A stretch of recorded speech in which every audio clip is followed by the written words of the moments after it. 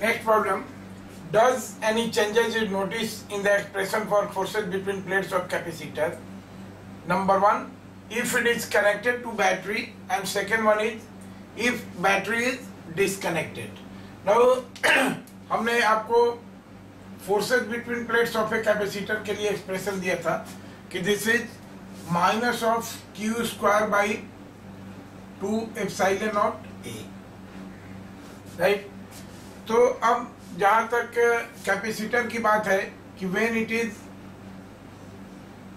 connected to battery when it is connected to battery यहाँ पर क्या होगा?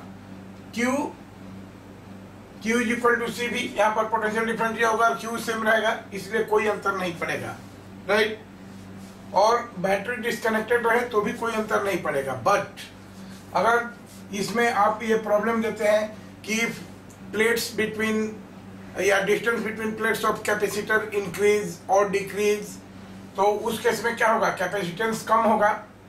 कैपेसिटेंस कम होगा तो अकॉर्डिंगली चार्ज भी कम होगा। तो उस केस में फोर्सेज बिटवीन प्लेट चेंज होंगे। जब बैटरी कनेक्ट रहेगी और जब बैटरी डिस्कनेक्ट रहेगी तो all the time charge constant रहेगा। क्यू कांस्टेंट रहेगा और इसमें डिस्टेंस वाला कोई टर्म नहीं है। इसलिए it will remain unchanged okay thank you